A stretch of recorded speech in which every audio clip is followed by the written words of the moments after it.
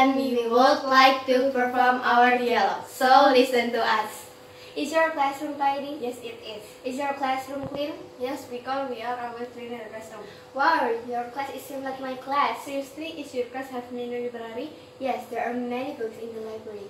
Does your class have many windows?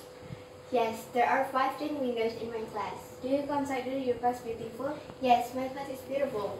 Is there a lot of curtains in your classroom? Mm-hmm. Yes, it is true. And how many? I think 15 curtains in my class. Is your class messy? No, my class is always tidy. How many sound system in your class? There are three sound systems in my classroom. Thank you for your attention. Goodbye.